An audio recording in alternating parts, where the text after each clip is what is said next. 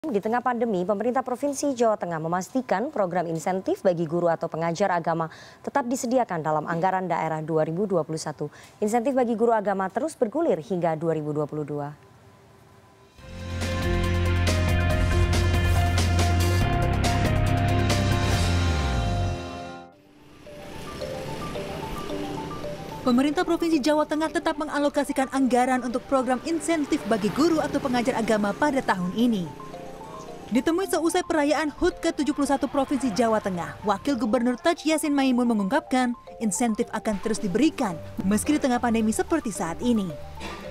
Alokasi anggaran pada 2021 mencapai 254 miliar rupiah untuk insentif guru agama yang ada di Jawa Tengah. Gus Yasin Sapan akrab orang nomor dua di Jawa Tengah itu menyebut pencairan dana masih menunggu waktu karena ada penyelarasan data penerima baru dan informasi beberapa guru yang terpapar COVID-19.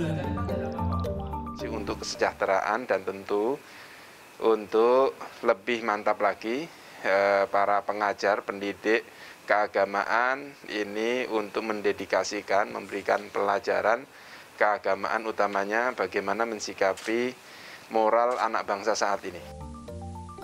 Hal ini pun disambut baik oleh para pengajar, salah satunya Muslihin, guru agama Madrasah Diniyah Minhajut Tolabah Purbalingga.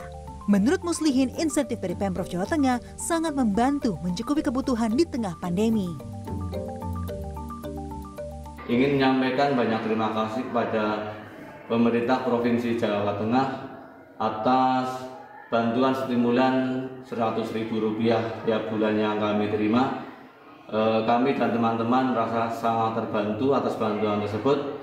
Dan harapan kami apalagi dalam masa pandemi seperti ini untuk ke depannya jumlah bisa ditambah.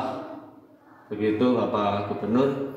Semoga insentif untuk guru TPK terus berjalan dengan lancar tiap tahunnya tetap ada setiap tahunnya dan di tengah pandemi ini syukur alhamdulillah jumlah insentifnya, jumlah nominalnya ditambah untuk membantu kesejahteraan kami para asatid. Tercatat 211.455 guru agama, baik Islam, Katolik, Kristen, Hindu maupun Buddha akan menerima insentif. Program insentif guru agama ini sudah dimulai sejak 2019 dan akan terus dilakukan hingga 2022 kalian nanti bisa belajar lewat link yang sudah kami